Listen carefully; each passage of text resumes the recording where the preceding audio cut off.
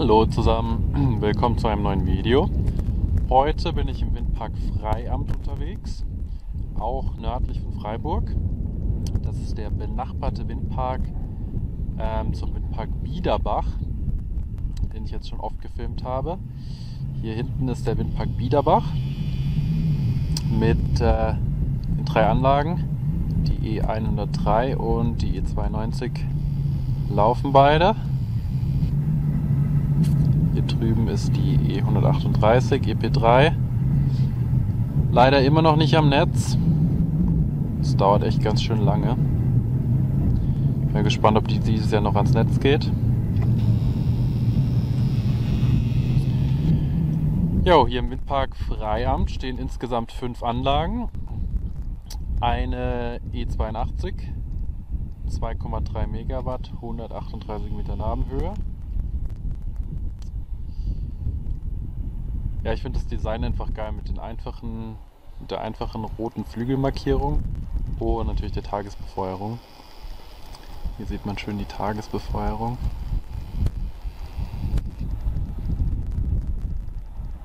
Finde ich immer toll. Ja, das ist hier die höchstgelegene Anlage. Dann haben wir noch mehrere E66. Hier eine E66 mit äh, 85 Meter Nabenhöhe, 1,8 Megawatt.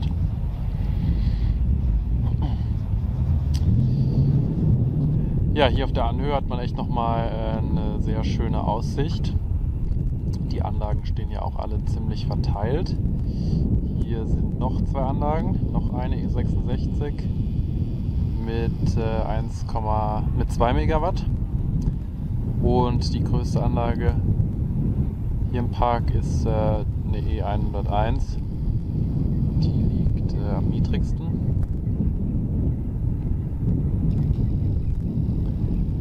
Ja, hier hat man auch nochmal eine tolle Sicht auf äh, den umliegenden Schwarzwald. Hier liegt überall noch vereinzelt Schnee. Ein Großteil ist leider schon weggetaut. Hier hinten liegt Freiburg.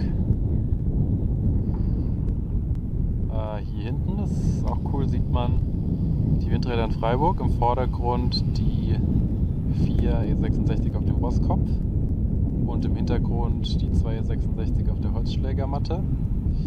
Video dazu gibt es auf meinem Kanal über die Windräder von Freiburg.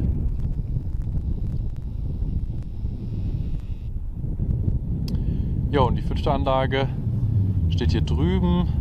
Das ist auch wieder eine E66 85 Meter Nabenhöhe, 1,8 Megawatt.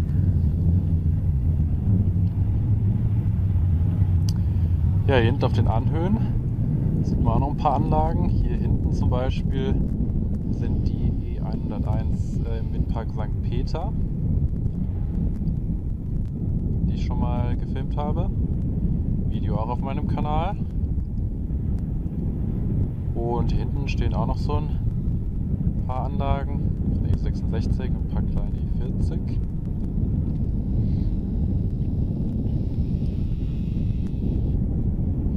Ja, Wetter ist bescheiden, also ist ganz okay. Hauptsache es regnet nicht, aber es ist echt kalt hier. Echt kalte Hände. Jetzt steht noch so eine Mini-Anlage. Wahrscheinlich gehört die zu einem Bauernhof hier. Dreht sich jetzt leider nicht.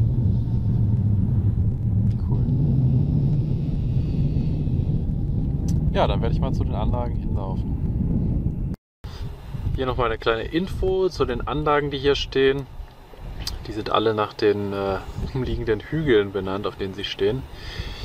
Ähm, Anlage Wiese ist eine E66 2001.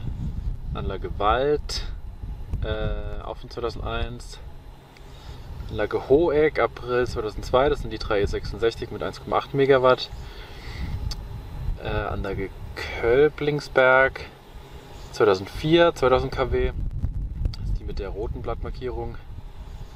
Anlage Scherberg ist die E82 von 2011 und die E1 von 2014. Hier stehen jetzt äh, vier E66. Ähm, da fehlt eine. Wahrscheinlich wurde die dann schon repowered mittlerweile. Ja, ich stehe jetzt hier unter einer E66 mit 85 Meter Nabenhöhe.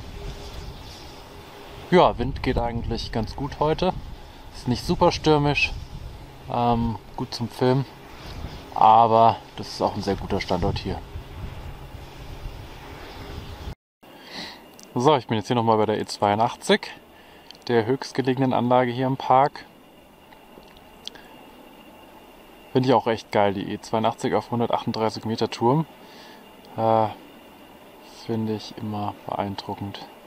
Ich finde das Design auch geil. Mit den einfachen roten Spitzen und der Tagesbefeuerung.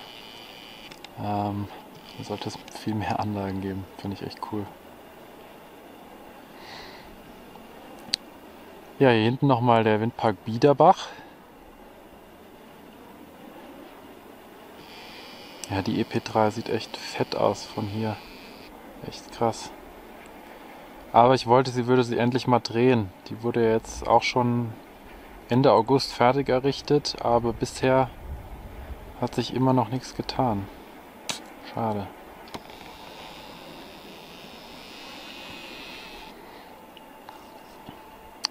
Hier sieht man nochmal schön die 2E66. 85 Meter Turm. Ist auch echt ein schönes Bild. Die haben noch diese ganz alte Tagesbefeuerung mit diesen mehrfachen Blitzen. Ich weiß jetzt nicht, ob man das auf der Kamera erkennt.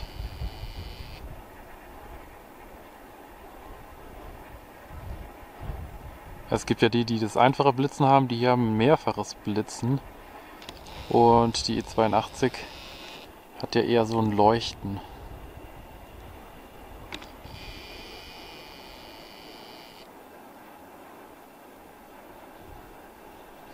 Echt kalt heute. Ich habe nochmal auf die Temperaturanzeige geguckt. Es hat nur 5 Grad. Ich hätte besser mal Handschuhe mitnehmen sollen. So, hier hat man jetzt eine schöne Aussicht auf die E101 auf dem Tenlebühl. Die größte Anlage hier im Windpark. Steht auch relativ weit von den anderen Anlagen weg. Ich bin mir gerade gar nicht sicher, ob die noch zu Freiamt gehört oder ob die schon zu Gutach gehört. Meine, die gehört schon zu Gutach. Ja, 135 Meter Nabenhöhe. Hätte man eigentlich auf einen größeren Turm packen können. 149 Meter Nabenhöhe. Oder gleich eine E115 hinbauen, um die Windausbeute zu erhöhen. Naja, da gab es bestimmt auch irgendwelche Restriktionen. Ist immer so eine Sache im Schwarzwald, ist immer schwierig, wenn hier was bauen will, weil hier überall ähm, so Einsiedlerhöfe stehen, die relativ, ja, ist auch relativ nah hier, also ich weiß nicht, vielleicht 500, 600 Meter oder so. Das macht es immer schwierig, wenn man irgendwo was bauen will. Ja, hier hinten ist noch eine kleine E66 auf dem Rohrhatzberg. Auch ein sehr guter Standort.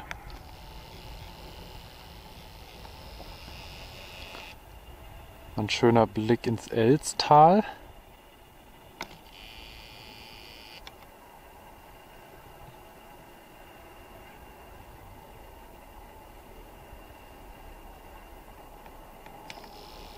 Aber trotzdem sehr coole Anlage, die E101. Die wurde auch sehr oft gebaut hier in den letzten Jahren. Ja, hier hinten sieht man nochmal die Windräder in Freiburg. Hier sieht man nochmal schön das Blitzen von den Anlagen auf dem Rosskopf. Und im Hintergrund dann die E66 auf der Holzschlägermatte. Die laufen auch ein bisschen schneller. Und hinten dran der Berg, das ist der Bällchen. Der zweithöchste Berg im Schwarzwald. Da liegt auch ziemlich viel Schnee.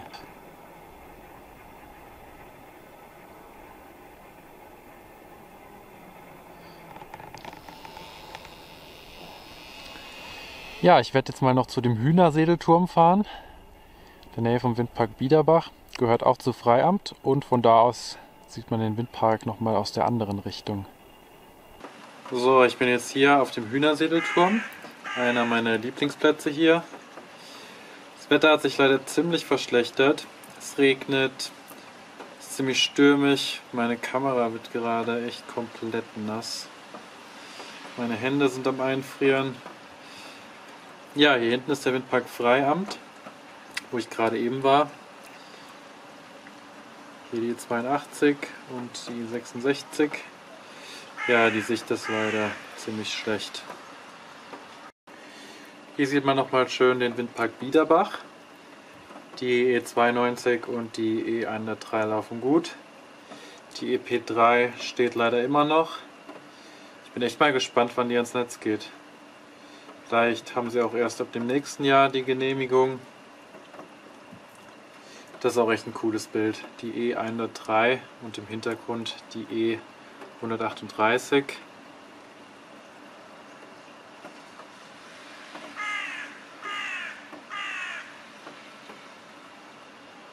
Ja, ich wollte eigentlich auch mal hier hochkommen, um mir den Baufortschritt im Windpark Hohenlochen mit dem EP3 anzuschauen.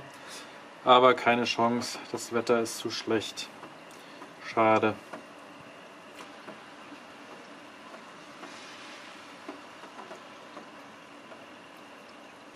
Ja, dann war es das hier von meiner kleinen Tour. Ich hoffe, das Video hat euch gefallen. Schreibt gerne wieder Kommentare, abonniert meinen Kanal. Videos vom Windpark Biederbach, vom Aufbau und auch von der Inbetriebnahme gibt es auf meinem Kanal. Ja, dann sehen wir uns bei meinem nächsten Video. Macht's gut und bis bald.